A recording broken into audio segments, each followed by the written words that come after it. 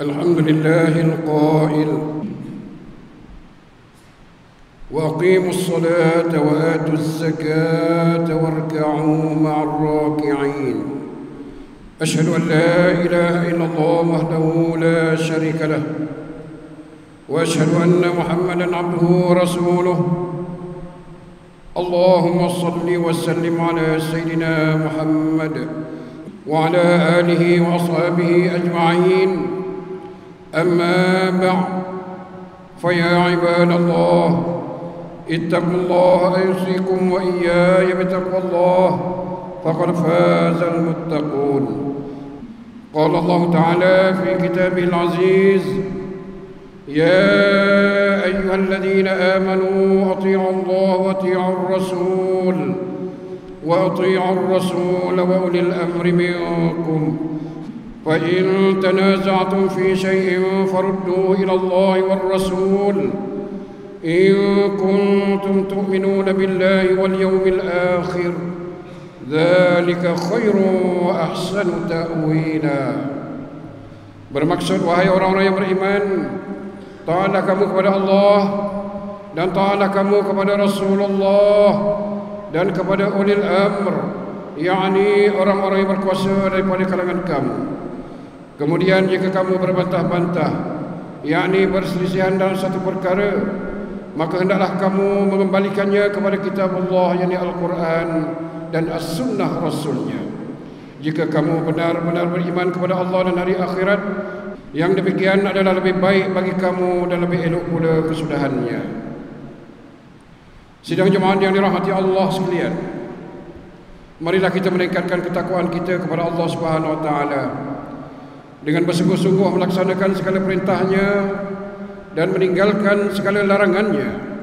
Mudah-mudahan kita mendapat rahmat dan keberkatan hidup di dunia dan di akhirat.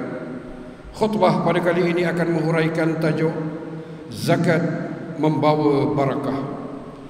Saudara-saudara sedang jemaat dirahmati Allah sekalian, sesungguhnya untuk kita mencapai darjat orang yang bertakwa, tidak cukup hanya sekadar mengerjakan salat fardu dan salat sunat, tidak cukup juga sekadar mengerjakan haji dan umrah.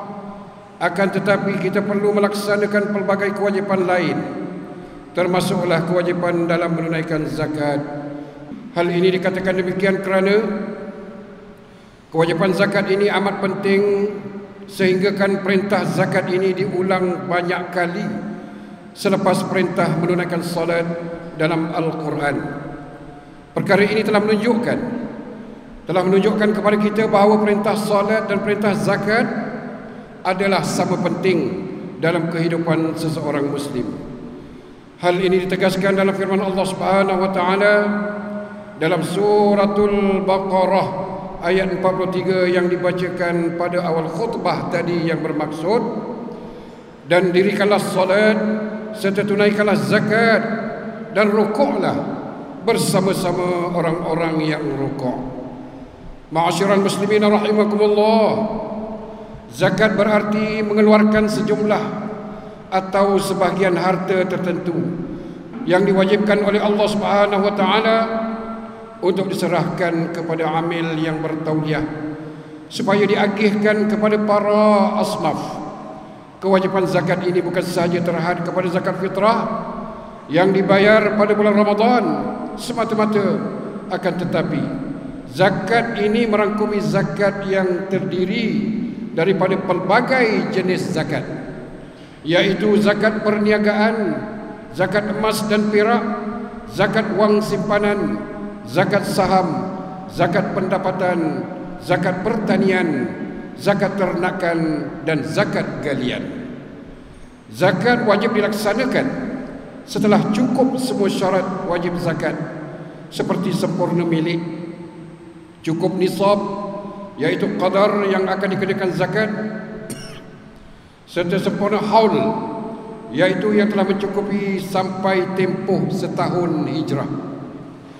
Pengagihan wang zakat ini mengikut ketetapan sebagaimana yang dinyatakan oleh Allah Subhanahu wa taala dalam surat taubah ayat 60 yang bermaksud sesungguhnya sedekah-sedekah yang zakat itu hanyalah untuk orang-orang fakir dan orang-orang miskin dan amil-amil yang menguruskannya dan orang-orang muallaf yang dijinakkan hatinya dan untuk hamba-hamba yang hendak memerdekakan dirinya dan orang-orang yang berhutang dan untuk dibelanjakan pada jalan Allah dan orang-orang musafir yang keputusan dalam perjalanan. Ketetapan hukum yang demikian itu ialah sebagai satu ketetapan yang datangnya dari Allah dan ingatlah Allah Maha mengetahui lagi Maha bijaksana. Saudara-saudara sidang jemaat yang dirahmati Allah sekalian, sesungguhnya mereka yang menunaikan zakat akan memperoleh banyak manfaatnya antara hikmah ibadah zakat ini ialah mereka akan memperoleh barakah atau keberkatan yang dikurniakan oleh Allah Subhanahu wa taala termasuk pada harta yang telah dizakatkan. Menurut para ulama barakah atau berkat ini bermaksud satu kepastian kebaikan di sisi Allah Subhanahu wa taala yang apabila terjatuh kepada mereka yang sedikit ia akan menjadi bertambah banyak. Dan apabila jatuh kepada perkara yang banyak akan menambah manfaatnya serta akan membawa ketaatan kepada Allah Subhanahu wa taala mereka yang mendapat keberkatan ini juga akan memiliki jiwa yang tenang hati yang lapang nafsu yang terkawal dan setiap urusan akan menjadi lebih mudah. Namun sebaliknya jika tiada keberkatan, maka harta yang banyak akan hilang, pendapatan yang besar akan menyusut, kesenangan dan kemewahan yang dinikmati juga pasti akan lenyap. Hal ini dijelaskan oleh Allah Subhanahu wa taala dalam firman Allah Subhanahu wa taala ayat 103 dalam surah Taubah yang bermaksud ambillah sebagian daripada harta mereka menjadi sedekah yakni zakat supaya dengannya engkau membersihkan mereka daripada dosa dan mensucikan mereka daripada akhlak-akhlak yang buruk. Dan doakanlah untuk mereka. Kerana sesungguhnya doamu itu menjadi ketenteraman bagi mereka. Dan ingatlah Allah Maha mendengar lagi Maha mengetahui. Saudara-saudara sedang jemaat yang dikasihi. Sesungguhnya manfaat zakat ini bukan sahaja diterima oleh asnaf zakat. Akan tetapi manfaat zakat ini sebenarnya Turut diterima oleh orang-orang yang mengeluarkannya Hal ini dikatakan demikian kerana Zakat ini akan menyucikan harta Dan akan menghapuskan dosa seseorang. Bahkan zakat juga dapat mendidik jiwa dan tingkah laku pembayar zakat Menjadi manusia yang berakhlak mulia selari dengan makna zakat itu sendiri yaitu tumbuh bercambah bersih berkembang dan barakah. Oleh itu sebagai orang-orang yang beriman kita wajib menunaikan zakat ini kerana setiap wang pungutan zakat ini akan diagihkan secara adil kepada mereka yang berhak tiada kerugian bagi para pengeluar zakat kerana semua agihan zakat dapat dimanfaatkan untuk keperluan masyarakat Islam. Contohnya, seperti asnaf fakir dan miskin akan dinilai berdasarkan had kifayah, kadar kecukupan, merangkumi keperluan asasi seperti makan dan minum, pakaian, tempat tinggal, pelajaran, perubatan dan juga pengangkutan. Semua ini sentiasa diambil kira dalam pengagihan wang zakat tersebut. Untuk makluman, untuk makluman pada tahun 2021 yang lalu, Majlis Agama Islam Negeri Johor telah memungut telah memungut zakat sebanyak 333 juta 414 ribu 115 ringgit 91 sen. Dan sehingga bulan Oktober 2022 Majlis Agama Islam Negeri Johor telah mengagihkan kepada seluruh asnaf sebanyak 251 juta 477 ribu 91 ringgit dan 20 sen meliputi asnaf fakir sebanyak 52 juta 501 ribu 835 ringgit 17 sen. Manakala untuk asnaf miskin pula sebanyak 80 juta 505 ribu 895 ringgit 98 sen telah diagihkan. Selain itu juga dalam sudut kemudahan pembayaran zakat pula pelbagai kemudahan yang telah dibangunkan dan disediakan untuk kemudahan pembayar zakat. Selain dibayar secara tunai di Pejabat Majlis Agama Islam Negeri Johor, pembayaran zakat juga boleh ditunaikan dengan cepat dan mudah secara dalam talian di bank-bank tertentu dan sebagainya. Bagi penjawat awam dan pekerja swasta pembayaran zakat ini boleh dibuat melalui potongan gaji berjadual yang disediakan oleh Majlis Agama Islam Negeri Johor. Justru dengan kemudahan yang ada ini, sebenarnya tiada alasan bagi sesiapa sahaja yang telah memenuhi syarat untuk tidak menunaikan zakat. Saudara-saudara sidang jemaat yang dirahmati Allah sekalian. Sebagai rumusan untuk mengakhiri kutubah pada kali ini, member ingin mengingatkan jemaah sekalian memandangkan sekarang kita berada hampir pada penghujung tahun 2022 dan lazimnya pada penghujung tahun ramai daripada kita akan mengambil kesempatan untuk menunaikan zakat. Maka marilah kita bersegera menunaikan kewajipan berzakat ini. Dan janganlah kita berkira-kira untuk berzakat. Yakinlah bahawa ibadah zakat ini merupakan sumber kepada kebahagiaan.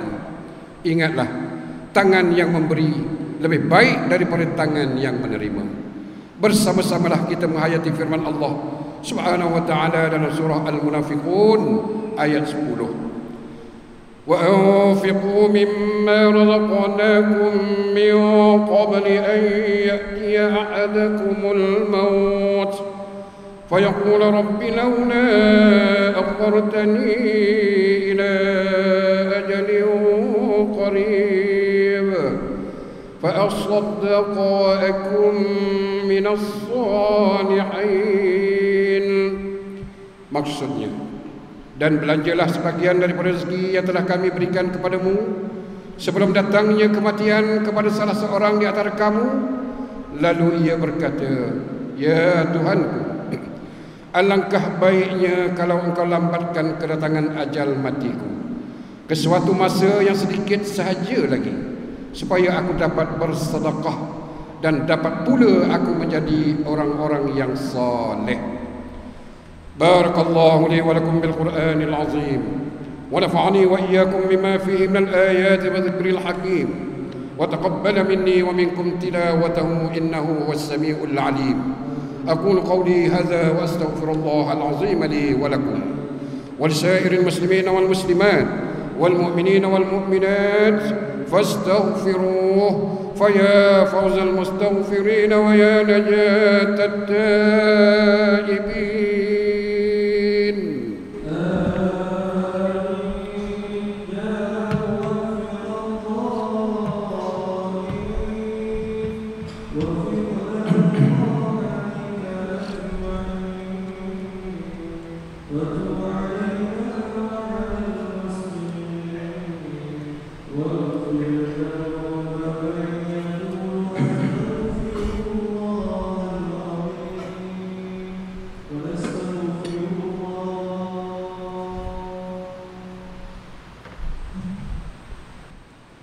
الحمد لله حمدا كثيرا كما أمر. أشهد أن لا إله إلا الله وحده لا شريك له إقرارا بربوبيته وإرغاما لمن جحد به وكفر. وأشهد أن سيدنا محمدا سيد البشر صلى الله وسلم على سيدنا محمد وعلى آله وصحبه. ما اتصلت عين بنظر وأذن بخبر أما بعد فيا عباد الله اتقوا الله فيما أمر وانتهوا عما نهاكم عنه وزجر وهي hamba Allah Ingatlah bahawa dunia ini adalah tempat tumpangan untuk sementara Akhirat jualah sebenar-benar tempat yang kekal untuk selama-lamanya Oleh itu marilah kita bertakwa kepada Allah untuk mendapatkan kebahagiaan serta menyelamatkan diri daripada siksaan api neraka. Allah Subhanahu wa taala firman dalam suratul Ahzab ayat 56. Inna Allah wa malaikatahu yusalluna 'alan nabi. Ya ayyuhalladzina amanu sallu 'alaihi wa sallimu taslima. Bermaksud sesungguhnya Allah dan malaikatnya berselawat memberi segala penghormatan dan kebaikan kepada Nabi Muhammad sallallahu alaihi wasallam. Wahai orang-orang yang beriman, berselawatlah kamu kepadanya serta ucapkanlah salam sejahtera dengan penghormatan yang sepenuhnya. Allahumma salli wa sallim ala sayyidina Muhammad wa ala ali sayyidina wa maulana Muhammad.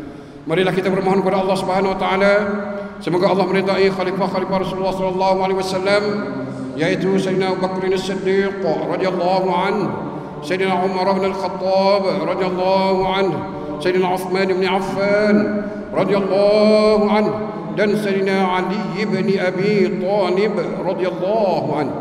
Dan sahabat-sahabat baginda yang sama-sama berjuang menegakkan agama Allah yang maha suci ini radhiyallahu anhum seterusnya kepada bapa saudara junjungan kita Sayyidina Hamzah dan Sayyidina Abbas radhiyallahu anhu cucu dan cucu baginda Sayyidina Hasan dan Sayyidina Husain radhiyallahu anhu putri-putri baginda Sayyidatuna Fatimah Az-Zahra dan lain-lainnya radhiyallahu anhunna.